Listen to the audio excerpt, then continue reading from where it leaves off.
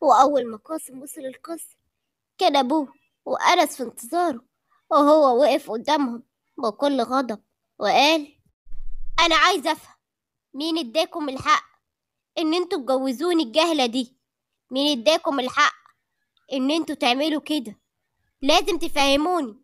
ما أنا آه مش مسطول علشان تعملوا معايا كده. بقى أنا قاسم أكبر رجل أعمال في القاهرة. بسبب حتة حادثة غبية تحصل لي أفوق منها. ألاقيكم مجوزوني. حتة بنت جاية من أرياف جهلة وبنتي خدامة. لأ فوق ده أنا كاظم. اعمل حسابك أنا هطلعها وأنت بقى حر معاها. زي ما جوزتها لي اتصرف معاها بعد ما أطلقها. أنت قليل الأدب ومش محترم. أنت اللي مش تستاهل ضفرها ولا علمك بقى. الطلاق هيكون مكسب ليها مش ليك لأنها أكيد لو فضلت عايشة معاك أكيد هتتدمر. بنتي رقيقة زيها مش لازم تعيش مع شخص همجي وقليل الذوق زيك. والله؟ طيب إن كان كده خلاص يبقى شيل ده ميل ده يرتاح ده عنده أنا طلقها وهي ترتاح وأنا كمان أدور على اللي تناسبني عن إذنكم. آه وقبل ما امشي أنا هرجع شركتي من بكرة وحاضرها وعلى الله ألاقي أي خطأ اللي أخطأ هحاسبه مين ما يكون؟ ومشي. قاسم وبعد ما مشي انس بص لعمه وقال له أنا حاسس بحاجة متغيرة في قاسم بس إيه هي؟ مش عارف. بس ربنا يستر لأن أنا حاسس كده إن مش ناوي على خير وخصوصا لفيروز. ربنا يسترها. دي بنت غلبانة. ما تخافش على فيروز أنا ضمنت مستقبلها. لما كتبت لها جزء من أملاكي ومستحيل حد يأذيها. طلت من الأملاك دي معاها. تمام ماشي. عن إذنك. أما عندي ماهي بعد ما المكالمة إجت ليها اتعصبت وراحت عند إخواتها جري وقالت لهم إحنا لازم ننزل القاهرة حالا. إحنا خلاص خلصنا شغل. مش لازم نقعد هنا. للشوبينج وكمان للفسحة. لأن في حاجة ضرورية حصلت في القاهرة. في إيه؟ إيه اللي حصل؟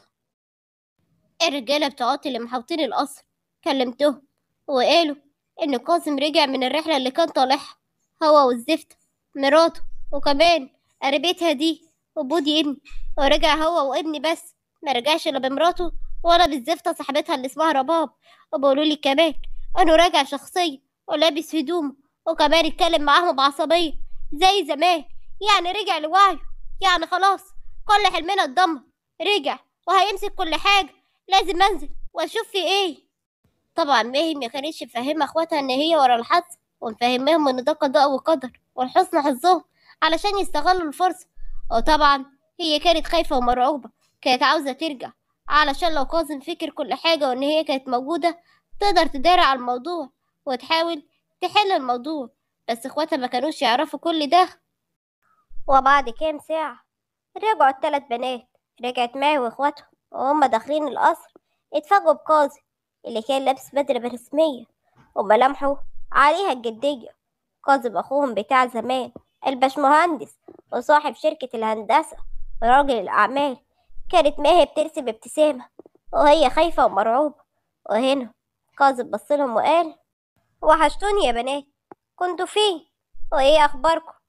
أنا عارف إن أنا كنت حمل عليكم طول الفترة اللي فاتت بس أنا رجعت ورجعت أول من الأول وهمسك الشركات وهبقى معاكي يا ماهي أنا عارف إنك زمانك تعبانة. جوزك قال لي إنك كنت بتعملي صفقة في الجونة. ربنا يعينك يا حبيبتي. وقعدوا يتكلموا وفضلوا يتكلموا كتير. وفهمت ماهي إن أخوها مش فاكر أي حاجة غير اللي هو قبل الحادثة. يعني من ساعة ما دقت الحادثة هو مش فاكر أي حاجة لحد وقتنا ده وده طبعا اللي فرحها وخلاها تكون مبسوطة وقالت له أمال فين فيروز هانم مراتك؟ ما تفكرنيش بالبيت الفلاح اللي ابوكي دبسني فيها أنا خلاص هطلقها. إيه؟ هتطلقها؟ لا ده مستحيل يحصل تعال أما أتكلم معاك الأول وبعدين؟ تفهم أنا بقول كده ليه؟ هزلها قاسم راسه. بمعنى حاضر. طبعا كان اخواته فرحانين إنه رجع لعقله بس واحدة منهم كانت زعلانة لأنها ترجع ماهي تتحكم فيه وتأذيه من غير ما هو يحس.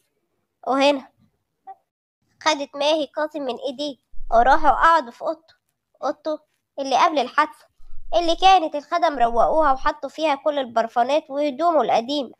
قعدت وهنا اتكلمت وقالت اللي اسمها فيروز دي انت مستحيل تطلقها. انت سامع؟ يعني إيه يا ماهي ترضى على أخوك يفضل متجوز واحدة جهل مش عارفة أي حاجة. لا مرضاش يا قاضي. بس اللي انت ما تعرفوش ان أنا كنت أكتر واحدة معترضة على الجوازة دي. وقلت لما ترجع لوعيك نبقى نجوزك. بنت من مستواك وتليق بيك. بس أبوك لوى دراعنا وجوزك من ورانا. وبعد كده لما جيت اطردها من البيت لقيت ان أبوك كاتب لها أملاك كتير. ومن ضمنهم البيت ده ليها زينا كلنا فيه. علشان كده مش هنعرف نتخلص منها أو أنت تطلقها لأنها واخدة فلوس ياما.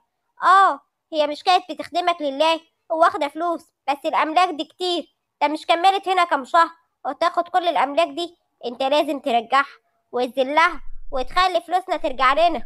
امم يعني هي اتجوزتني ونصبت على أبوي. أنا كنت حاسس كده برضه بس والله لا دفعها تمن ده كله وهرجعها هنا. خدامة زي ما كانت أمها خدامة بالظبط. يلا هسيبك أنا علشان ورايا كام حاجة مهمة كده في الشركة. سلام. ومشي قاسم وفضلت ماهي قاعدة مكانها وهي متغاظة وبتقول رجع. وأول ما رجع يرجع علشان يمسك الشركة اللي تعبت فيها. بس مش مشكلة الرجوع مهم. هيخليني يخليه يمضي على صفقة غسيل الأموال دي. وورطه فيها وكمان هيرجع فلوسها من الجربوعة بنت الخدام. وبعدين أخلص منه. أنا رجوعه ده حل ليا. مش مشكلة. وبالذات إنه مش فاكر إن أنا كنت في الحادثة وإن أنا كنت عاوزة أقتله فيها. يلا. الحمد لله. ما اتضرتش بحاجة. أما أنا كنت قاعدة في الشقة. اللي جابها لنا الأستاذ أنس. وهو إجا وقعد معانا. وحكالي عن كل اللي حصل من كاظم لما إجا وكمان هو كان واقف وسمع كلام كاظم مع ماهي وإن هو عرف إن أنا اتجوزته علشان الفلوس. ماهي فهمته كده وساعتها هو قال فيروز قاسم هيحاول يرجعك علشان الفلوس أو علشان أي هدف. ارجعي خليكي جنبه هو محتاجك. ماهي رجعت تلعب عليه زي زمان وهتدمره هو جوزك ومحتاجك هو في محنة. ولازم تقفي جنبه. صدقني نفسي أساعده وأفضل جنبه بس مش هتحمل. فاهم يعني إيه؟ اللي بتحبه يشوفك أقل أقل بكتير من إن هو إنك تكون حبيبه. فاهم يعني إيه لما تدي عمرك لحد؟ وهو يستخسر فيك الكلمة الحلوة؟ مش هقدر. وبالذات بعد ما هو مفكر إن أنا اتجوزته علشان الفلوس أكيد المعاملة هتكون وحشة. أنا عارف إن هو صعب بس أصعب إن أنت تشوفي كل حاجة بتتدمر. كاظم أنت عملت علشانه حاجات كتير. هو مش فاكرها دلوقتي بس أنت لو قربت منه وافتكرها هيفتكر كل حاجة وعمره ما هيفرط فيكي. أنا راجل وعارف أنا بقولك إيه.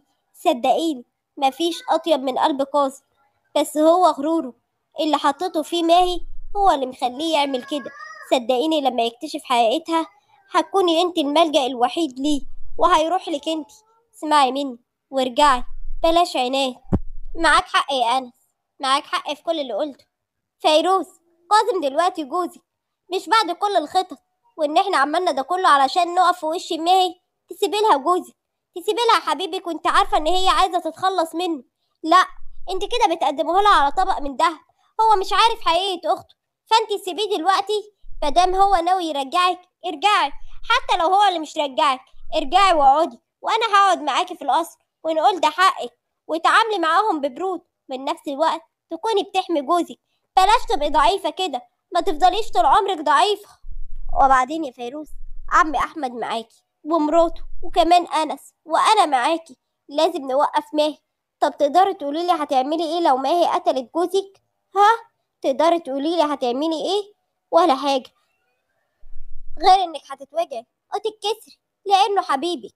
أنا عارفة إن كلامي صعب بس لازم تقف على رجلك وتحاولي تعرفي كل حاجة عنه.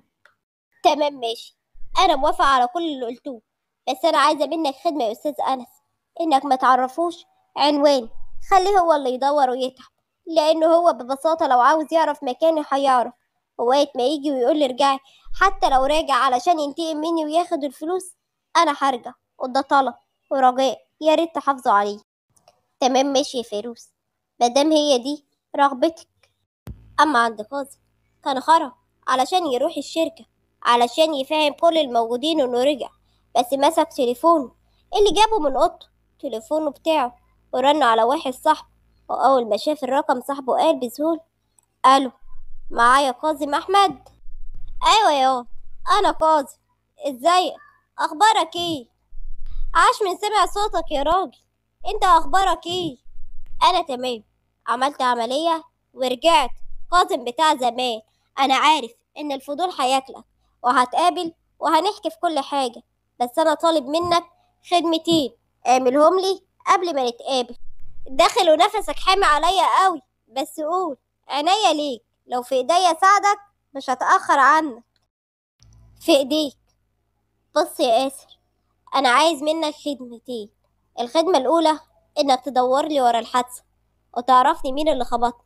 وتحقق معايا لأن بصراحة أنا حاسس إن الحادثة اللي اتعملت لي كانت مدبرة مش أي حد.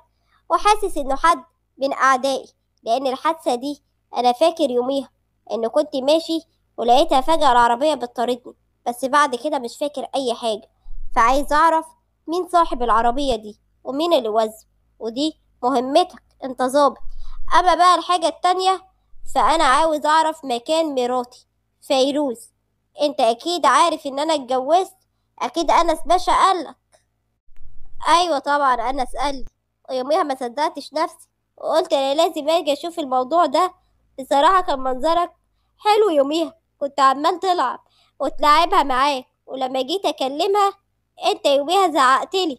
وكأني راجل غيرت عليها. وما بالك؟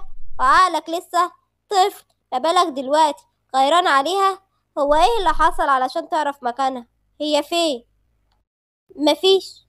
بس أنا وهي شدينا قبال بعض شوية وسابت البيت ومعرفش هي فين وأنا عايزها. أنت عارف دي مراتي واسمها على اسمي. تمام هشوف لك الموضوع ده. بس نصيحة مني حافظ على مراتك. مراتك شخص نادر تلاقيه موجود الأيام دي. حبيتك بجد حبيتك بصدق. يعني لا عايزة مصالح ولا حاجة. طبعا أنت مش فاكر هي عملت إيه علشانك ولا أي حاجة بس أنا شفت هي اتعاملت معاك إزاي وأنا موجود. كأنك ابنها. صعب جدا تلاقي زوجة زيها. حافظ عليها. سرح كاظم في كلام صاحبه وهو بيقول بينه وبين نفسه ليه الكل حبك؟ ليه حتى أبويا كتبلك أملاك؟ أكيد فيكي حاجة مميزة. أكيد يا فيروز. وبعد كده اتكلم واتنهد وقال إن شاء الله. بس أعرف لي أي أخبار عنها وبعدين هحل كل المشاكل معاها. سلام.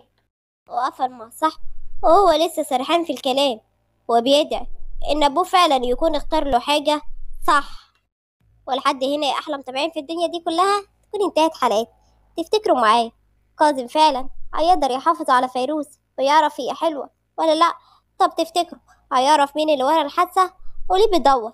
وفعلا هيكتشف طب يا ترى هيعرف مخططات أخته ولا لأ؟ وماهي هتقضي على ده كله وتنهيه قبل ما يبتدي. مستنية رأيكم في التعليقات. بتمنى إن الحلقة تكون عجبتكم وإذا عجبتكم لا تنسوني باللايك والاشتراك في القناة. وتفعيل زر الجرس.